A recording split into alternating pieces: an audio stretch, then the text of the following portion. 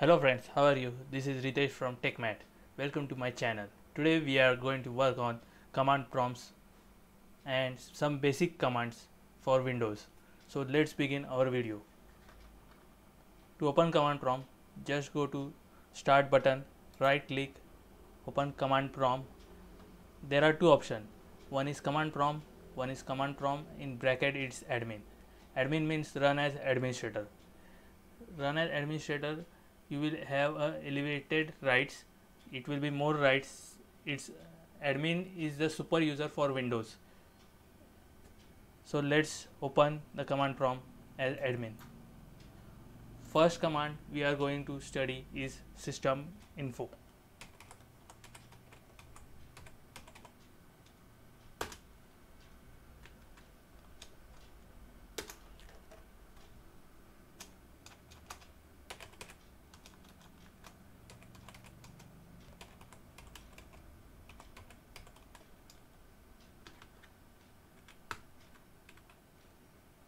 system info hit enter.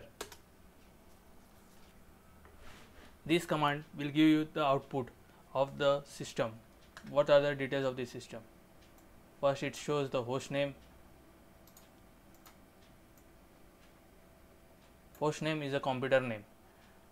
To see the host name physically or you want to change go to start button right click click on system. You will get this window. Once this window is open go to change setting. Click on change. As it's a domain controller it will not give me to change the host name.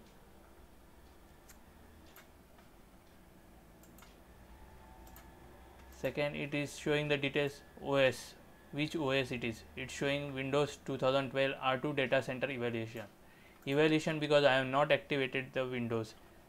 Here it is showing license is expired.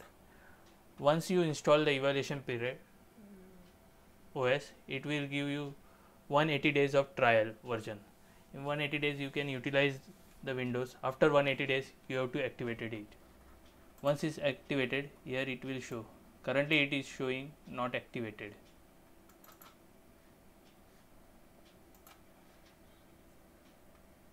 then it's showing builder OS build type. It's multiprocessor free. Second register owner. Who is the owner? Windows user. The most important is original install date. When the OS was built. It shows here original install date. Below that it is system boot time. System boot time is, it shows the uptime of the system. When someone asks you give me the uptime of the system. Run this command system info and give the output of system boot time. Second it's the manufacturer. Manufacturer means the platform on which the system is hosted. Currently system is hosted on vmware workstation so it is showing vmware. If it's hosted on physical it will show the physical server host. That is dell hp hitachi etc what is the model? What is the platform model? That is if it's Dell. Dell which model? Or HP which model? Processor type. Processor. How many processors are there and what is the model? Second system type. It will show if it is 32 bit or 64 bit OS it is 64 bit so it's showing 64 bit. OS directory where the Windows is installed. You can see go to C drive. C drive this is a Windows folder.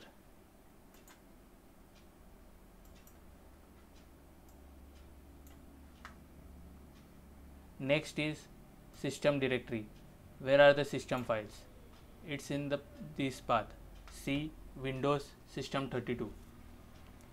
Next, boot files. Boot files are saved on the disk that is created of 350 MB when we were doing the OS installation. System local languages. What is the language that we have selected? Time zone. In which time zone the system is? Physical RAM. how much the RAM is there how much physical RAM is there this shows domain which domain the system is. If the system is standalone it will show workgroup here. Hotfix any hotfix or patches it's installed it will show the list here. Network card details what are the network cards installed on this system? If there are multiple network cards it will show multiple networks. Second command is ipconfig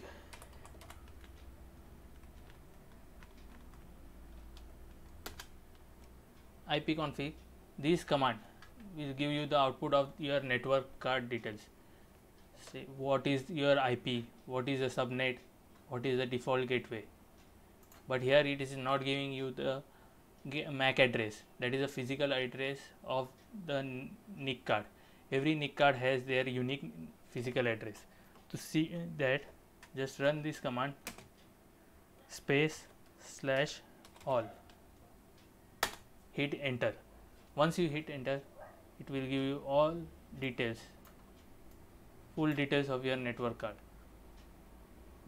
That is a host name.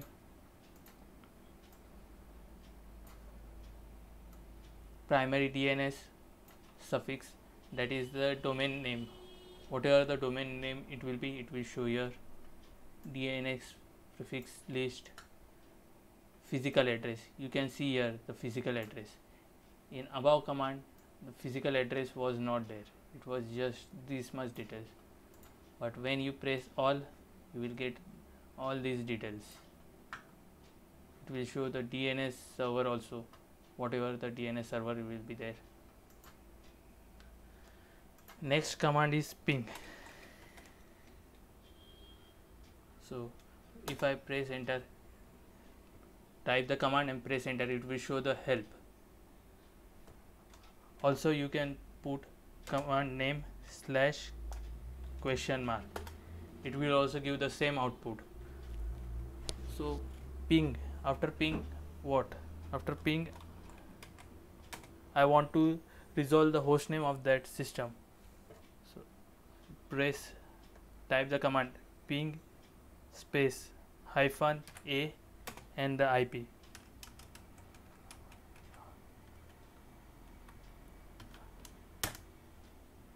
if this IP is there or this IP is given to any machine it will resolve.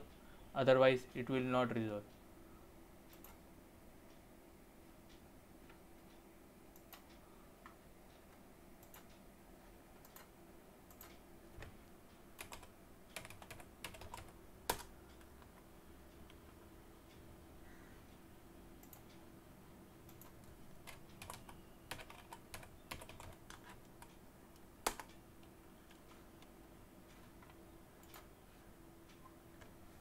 this IP is given to this system. This is the host name of that system to which the IP is assigned and the system is alive, it's pingable. In ping, the ICMP packets are sent from source to destination and acknowledgement is done. Once the acknowledgement is done, you get the reply that the system is alive. If you want co uh, ping continuous, means sometimes the ping goes and comes and uh, again it goes. So you have to monitor it. Just press hyphen t in the end and hit enter. Once you hit enter it will start pinging continuously.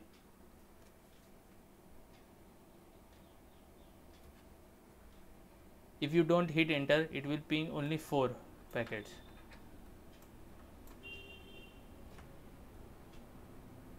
sometimes when you reboot the server it takes long time.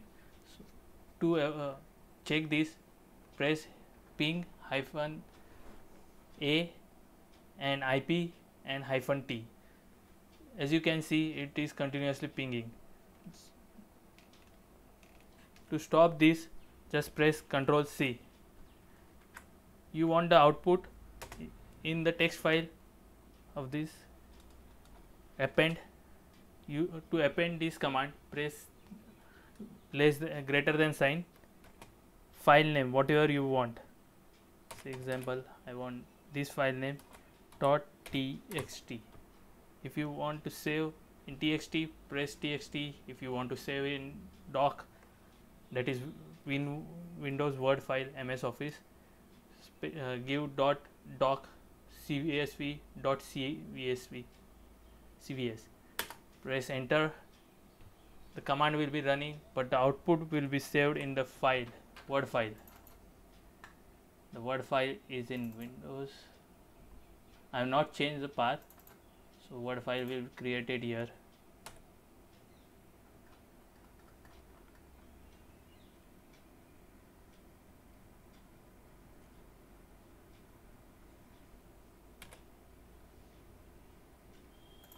as you can see the word file is created. To stop this again press ctrl C. I want to go back from system folder to C drive.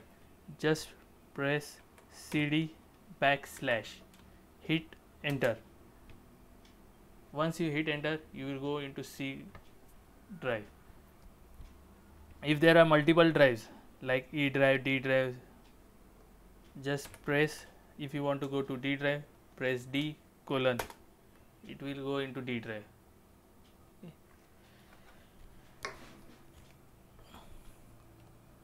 Uh, now if you want to list the folders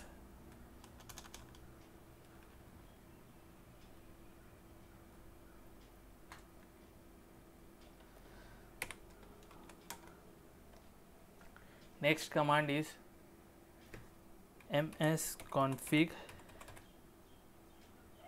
32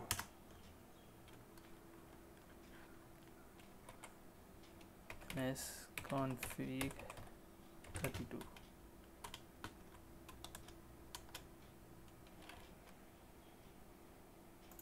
once you enter msconfig command it will give you the option how do you want to put it? Do you uh, once you reboot the server if you want to put it in safe mode it will ask to put it from safe mode or other mode the services which you want to start or disable when the server starts. Startup in startup if you want to add something you can do here.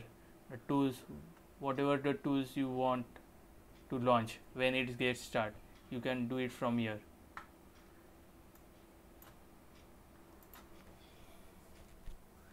next command is assoc a double s o c. Hit enter. This command will give you the details. What are the files? Like you can see here dot 386 if it's dot 386 what the file stands for? It is dot it is vxd file if it's a cab file it is for which it is for cab folder. Bmp it is a paint picture. Jpg most of them you use jpg jpg is a jpg file. Okay you can see it here. Zip if it is a zip it is a compressed folder next command is to know just to you want to know the MAC address of your system. Just hit get MAC and hit enter. It will give you the MAC address of your system. Next is the task list task list command. This command will give the output the list of tasks that are running. Just enter task list. Hit enter.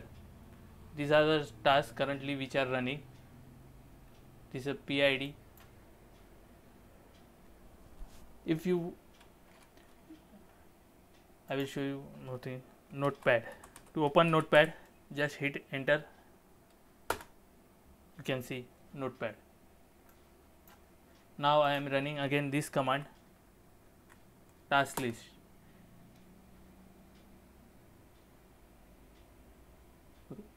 this is the notepad. Now I want to kill this process.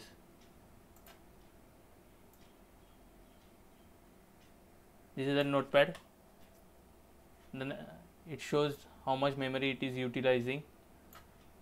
Sessions how many sessions are uh, using that notepad. It is a service or it's a console. So notepad is a console. This is console now I want to kill that task. Just run task then kill slash pid pid here you can see the pid column. To select this ip pid right click mark. Select this option hit enter. After in the command after typing pid give space right click paste. Space again slash f. Slash f it will kill forcefully. Sometimes the command doesn't get skill. If you hit f it will forcefully kill the command. As you can see the notepad has been closed and it is given that successfully terminated. Now again you run the command task list here you can see notepad is not there. Hello guys. Thanks for watching this video. Kindly subscribe for more commands and more tips and tricks. I will get back to you in next video